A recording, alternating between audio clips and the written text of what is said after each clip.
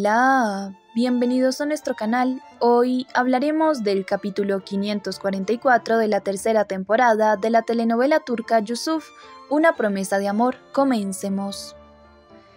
El capítulo de hoy comienza con Yaman y Nana. Ambos llegan a la mansión y Ainur se llena de celos al verlos juntos nuevamente. Ella se acerca a Yaman y decide contarle toda la verdad sobre Nana y mostrarle la foto que tiene en su contra donde aparece reunida con Idris.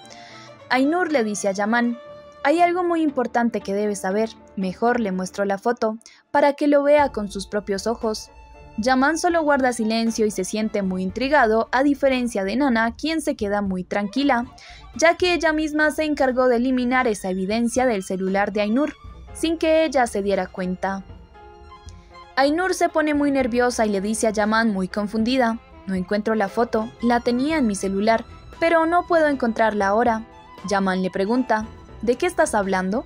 Ainur se dice, ¿qué le diré ahora? ¿Cómo voy a probarlo ahora? Pensarán que la calumnio. Entonces mi hermano mayor me enviará lejos de aquí. Ainur le dice a Yaman, era una foto que le tomé a un juguete muy educativo para Yusuf, pero se me borró. Yaman le responde, Habla de estas cosas con tu hermano mayor, conmigo no.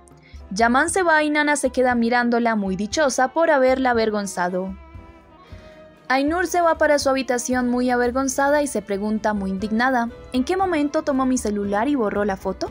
Me deshonró, pero hay algo siniestro aquí. Ella se asustó y por eso lo borró, lo sé, pero no puedo convencer a nadie. Al mismo tiempo, Nana está en su habitación muy contrariada, debido a que siente dudas de que Yaman no sea el asesino de su hermano. Ella se pregunta, ¿podría ser él inocente? Justo en ese momento, Yaman la llama a su despacho y Nana presiente que le llamará nuevamente la atención por haberlo seguido. Ella entra al despacho y le dice, Enójate si quieres o despídeme, pero ibas a matar a un hombre y no iba a quedarme callada. ¿Debería haber esperado? No hacer tal cosa. Yaman le responde, No te voy a despedir. Esta será mi última advertencia para ti. Lo que hiciste no es perdonable. Me diste otra razón para no confiar en nadie, especialmente en ti. Solo harás tu trabajo y no interfieras con mis trabajos y acciones. No cruzarás la línea. ¿Lo entendiste? Nana asiente y se va muy pensativa. Por otra parte, Ali está con Duyu en la enfermería de la estación tratando de auxiliar a Ainur, quien ha fingido un desmayo. Duyu le dice a Lee al ver que ella no reacciona que la lleven al hospital, pero justo en ese momento Ainur abre los ojos y le dice a Lee, estás aquí conmigo. Duyu intenta darle un poco de agua, pero Ali no se lo permite y le dice que no es necesario que esté ahí, se puede ir. Duyu le responde, está bien, espero que se recupere pronto, y se va. Ali le pregunta a Jack Moore, ¿estás bien? Ella le responde, sí, no me lo tomes a mal, pero siento que Duyu tiene un mal presentimiento sobre mí, su comportamiento, sus miradas. Siento que ya no le agrado. Ali le responde, no hay tal cosa. Jack Moore le contesta, tal vez culpo a la chica por nada, pero no sé qué hacer. Mi inquietud no desaparece, no puedo convencerme de que todo es solo mi preocupación. Ali le responde, no pienses en esto ahora, Probablemente tengas la tensión alta, salgamos a cenar y luego descansarás. Al día siguiente, Yaman recibe una llamada del doctor de Silla, quien le informa que Silla ha tenido un ataque y le sería de gran ayuda que sus seres queridos hagan un video para él. Yaman le responde, si es así, es mejor que traigamos a mi hermano mayor de vuelta a casa ahora mismo. El doctor le responde, Desafortunadamente es demasiado pronto para eso. No sabemos cómo podría afectarlo estar en el lugar donde recibió el trauma. Debemos movernos con pequeños pasos. Le sugiero que grabe el video y se comuniquen con Silla. Yaman le responde, está bien, haré todo lo posible para asegurarlo. Yaman corta la llamada y luego de un momento reúne a todos en la sala de la mansión y les dice, Acabo de hablar con el médico de mi hermano mayor y dijo que sería bueno para él vernos. Si ustedes también quieren, pueden enviarle un videomensaje para que lo vea. Yaman le responde, por supuesto que puedes, eso haría a tu tío muy feliz. Nana se dice, no perderé esta oportunidad, encontraré el lugar donde está su hermano mayor. Yusuf les dice muy entusiasmado, yo quiero ser el primero, empecemos a grabar los videos para mi tío. En la estación Duyu está en la estación muy dispersa y se dice, no pude decírselo a Ali, era la oportunidad perfecta, pero Jack Moore me detuvo. ¿Sabría lo que iba a hacer? Debería deshacerme de estos pensamientos, es imposible. Además, se enfermó. ¿Cómo es que ella podía saber lo que le iba a decir a Ali?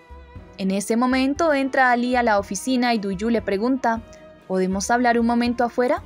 Nuestra conversación fue cortada ayer, Ali le responde, ¿de qué vamos a hablar? Duyu le responde, hay cosas que debería decirte. Ali le responde, no me creo ninguna de las que me dijiste. Eres la única razón por la que le pasó eso a Jack Moore. Incluso puedes hacer que alguien sano se enferme. No me digas nada a menos que sea sobre el trabajo. Duyu solo guarda silencio y se va para su escritorio muy ofendida. Minutos después, Duyu sale a almorzar con Volcán a la cafetería de la estación y le cuenta que Ali ni siquiera quiso escucharla. ¿Cómo voy a decírselo ahora? Volcán le responde, si no te escucha, escríbele una carta. Tal vez sea un poco anticuado, pero funcionará. Estoy seguro de que la va a leer. Duyu asiente y se va para su oficina a seguir el consejo de Volcán muy entusiasmada. Entre tanto, todos en la mansión terminan de grabar hermosos mensajes para Silla con la intención de levantar su moral y deseando volver a verlo pronto. Nana se siente muy sorprendida por el gran aprecio que le tienen a Silla y lo buen hombre que parece ser, pero por el contrario, Idris le había hablado mal sobre él y que era más despiadado que Yaman. Nana se siente muy confundida y se propone a descubrir quién verdaderamente es Silla. El capítulo termina con Duiyu. Ella termina de escribirle una carta a Lee y la lee muy conmovida. Ojalá supieras cuánto me duelen los muros que construiste, pero no estoy enojada contigo. Cualquiera en tu posición actuaría de la misma manera por el daño que te hice el día de la boda. Pero hay cosas que no sabes, y ha llegado el momento de que lo sepas. Te escribo esta carta para decirte por qué te dejé ese día, incluso ahora es demasiado difícil de decir. Lo que nos separó no fue mi falta de amor por ti. Te amaba lo suficiente como para querer toda mi vida junto a ti. Me fui porque no sería capaz de darte la familia que soñaste. No puedo tener hijos por causa del ataque que recibí de Ertugrul. Lo siento mucho, pero esta es la verdad. Por eso te dejé, por eso me escapé de ti.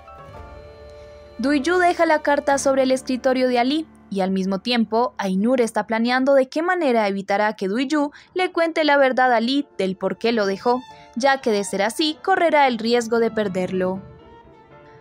Bueno amigos, eso fue todo por hoy. No olviden suscribirse y activar la campanita de notificaciones para que no se pierdan de ni un solo detalle de esta intrigante historia. Gracias por preferirnos.